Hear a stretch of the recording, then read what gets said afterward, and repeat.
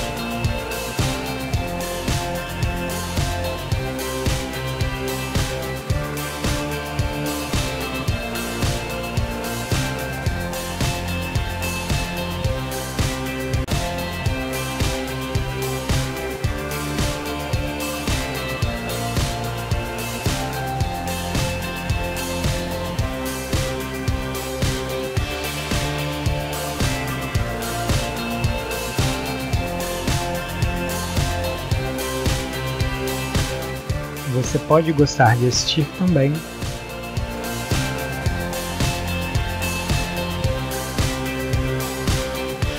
Obrigado por assistir, se inscreva no meu canal e dê um like abaixo.